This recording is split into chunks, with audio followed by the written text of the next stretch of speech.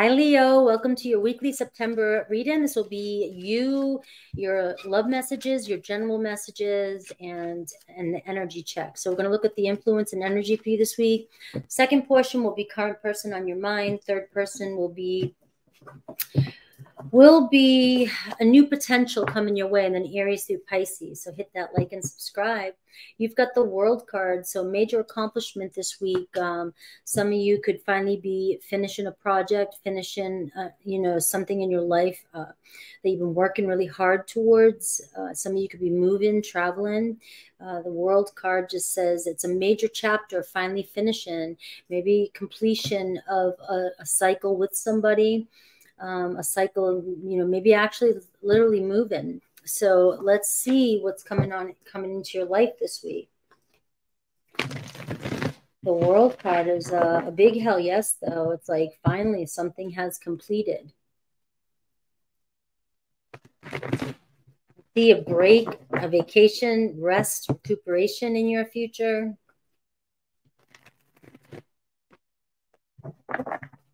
All right.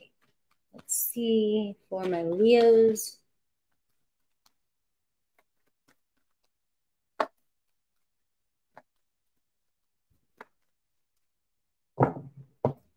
Helping hand, partnership coming in for you. Um, if you need some help this week, somebody's there for you. I do see conflict, uh, feeling defeated, feeling worn out, tired, right? You've worked really hard to get to where you're at, right? We got the solar plexus chakra. So tapping into that inner strength, willpower. So it does look like a lot of you really been pulling in some willpower lately to make it through a situation. You know, it seemed like you were feeling defeated there for a minute.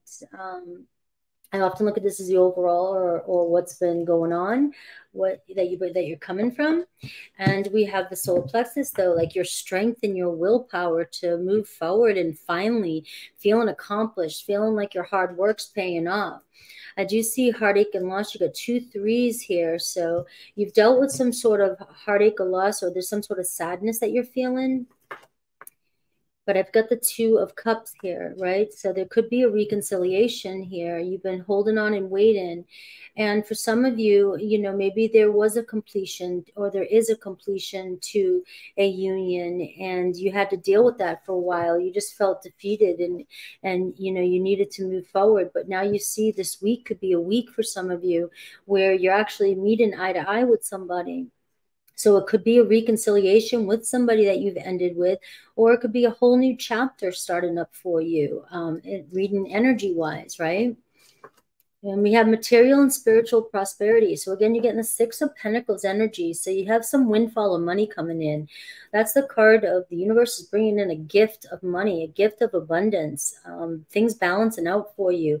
Things looking better. So feeling spiritually uplifted this week. So whatever has been defeating you, whatever conflict you've been dealing with, your like i'm saying your strength your will to succeed is surpassing any heartache any heartbreak that you've gone through you're putting it was 333 right now right right now 333 and you got the threes here all right and the six I thought I saw 333 in my head, I guess. And then when I looked up, you've got passion ignited again. So maybe get in, maybe there's a uh, a turning point this week where you're reigniting so you can it can go both ways here either reigniting with somebody or or igniting brand new passion after a long period of time and the universe is finally bringing it in now some sort of balance for you in love and in your material and spiritual world all right, we got the Ace of Swords. You got two aces showing up for you.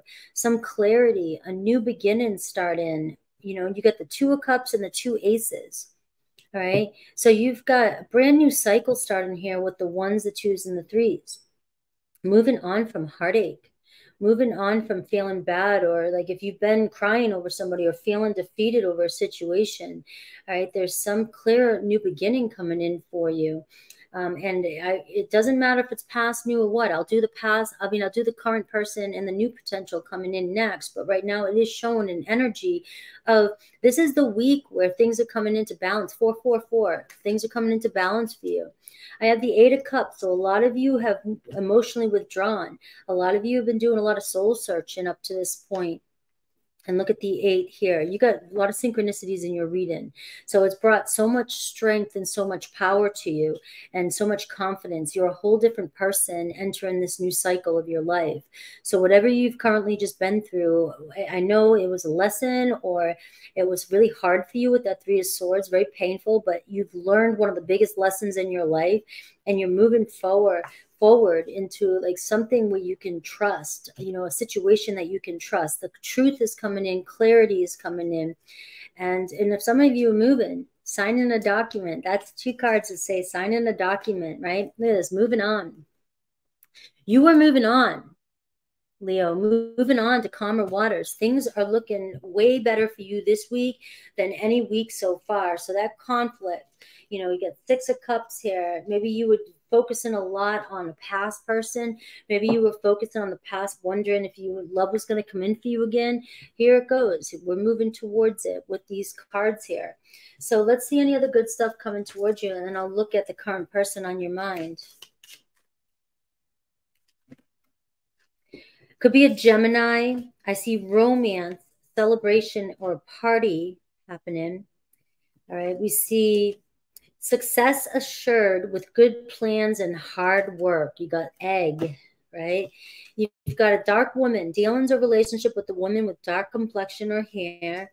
All right. We have feather. Feather could you could see feathers this week. Someone you know may be undependable and insincere, and you could be moving on from this person. And a position of authority. So being the king king of the jungle guys by the end of the week. So you're moving past whatever this is that you are enduring this week. And don't take things so like zero to 100. It doesn't have to be this 100 thing. It's a weekly reading, could be something. We all have obstacles every day, different things showing up. And this kind of feels like that kind of a reading, you know? All right, let's look at the current person on your mind, Leo. Apparently, they better match your energy because you're showing up in your power with this card right here. So you're showing up confident and in your power, ready to take on whatever whatever's coming your way. You've got the justice and you've got the ace of cups. So maybe somebody um, opening up the truth, paying, you know, maybe some karma's being served, some justice, some honesty, divine love. Could be a new, that's definitely a new chapter. You got the two of wands and you've got the justice card again. So we're, we're seeing a date with the law, a date with justice, maybe getting married, maybe taken to the next level, uh, maybe getting a divorce, maybe signing some legal documents with that ace of swords, you know, it can be any of that. All right, so let's look at the current person on your mind. Aries, Leo, Sag. Somebody has likes to have a lot of fun. There's that two of wands again. Somebody think about making contact to you. All right, they have fun when they're with you. They, you guys go out and do a lot of things together. Um, they're hesitant, but they are ready to make contact and maybe go on a date this week.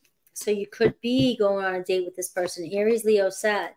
Does feel like there's some negative thoughts between the two of you, maybe some negative things said in the past.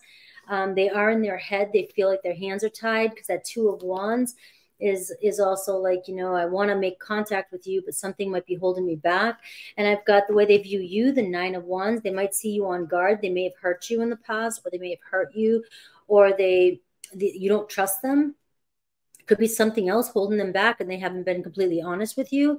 And you had that justice card and the ace of swords. So somebody could be telling you something this week, why things weren't working out or why they haven't called you or why they haven't made any attempts to go on a date with you. It could be anything like that. All right. We have their next actions. We have um, taken action. We have the the magician card, taking action towards you, wanting to manifest this. We got an Aries, Leo, Sag.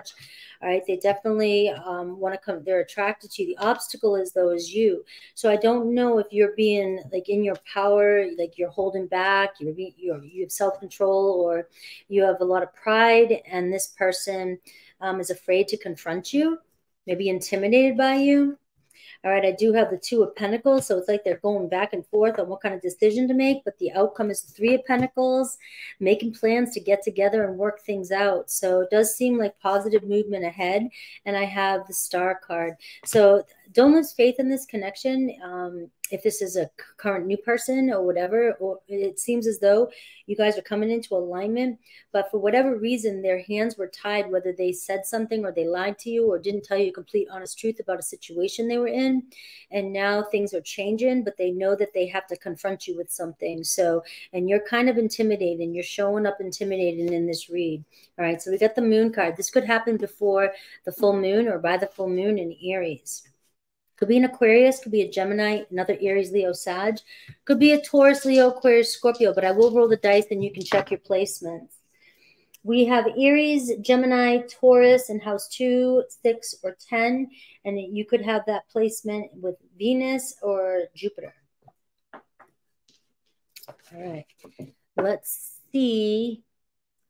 New person potential on my Leo's mind. New person or potential on Leo's mind. New person or potential on Leo's mind.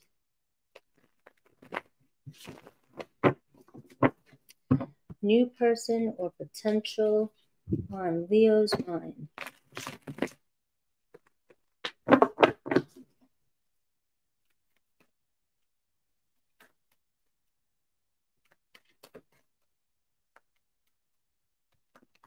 Mm-hmm. Two of Cups, 1122. All right, Ace of Cups. So you've got strong potential. That's two of Cups is coming through twice for you today. And you had two aces. So this could be the week that you're meeting somebody that could potentially be your one. All right. There's definitely mutual attraction, the law of attraction. So whatever you're attracting in, your vibe, you're attracting in somebody. Look at this, the magician card underneath, Gemini energy, right? The hermit card, somebody who's single, somebody who's available. Maybe somebody's at a, it could be long distance um, relationship, right? The ace of swords again. So the synchronicities in your reading are amazing. So we're seeing um, here some communication. Somebody definitely thinking about you. They're trying to send subliminal messages or something. Like, please. It could even be like when I see these two cards together, and you have them twice in this reading, guys, twice, right? This is you're calling in your soulmate. You had the Justice card, Divine Love came in for you. This doesn't happen very often, but when it like double like, uh, you know, you got 1 2 1 2, 21 21, 2 2 1 1, right? This is, even if you don't know this person, you've been manifesting this person in with that. Um, the ace, the ace of cups, and the magician card. You've been manifesting this person in, Leo, and this could be the week that this is happening for you. Brand new love, right? We got a Pisces energy You've been waiting a while for this. You're going through a transition period. This is the transition period. So they may be moving, traveling. Could be somebody from another country, somebody who travels for work, somebody who's traveling to be closer to you.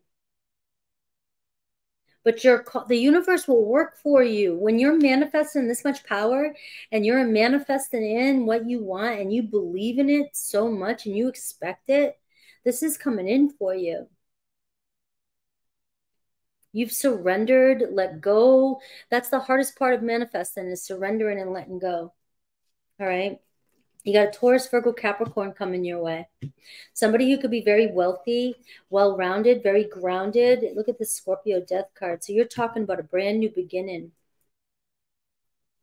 Major transformative, major, major change. I don't think that's for you.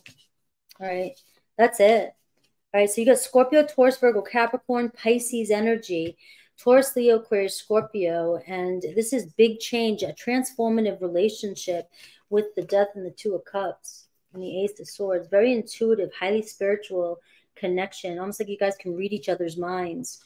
All right, let's see. Let's look at the placements, guys. The placements. You have Pisces, Libra, Aquarius, Capricorn, in house 7, 8, or 12. Or you could be one of those rising signs all right, your person, or you could have Mars and Mercury in Pisces, Libra, Capricorn, or Aquarius. Um, your person can be those signs because there's a sun here. Uh, sun in Libra, Pisces, Aquarius, or Capricorn. You had house seven though, so you're talking about relationship, marriage type of relationship, profound relationship. All right, let's look at Aries through Pisces. For those of you with somebody specific on your mind, maybe, and you want a message, remember these, I do these a lot, so they may not always resonate. Ask your higher self to connect and to focus on the sign that you want a message about. And only take what resonates, leave the rest behind.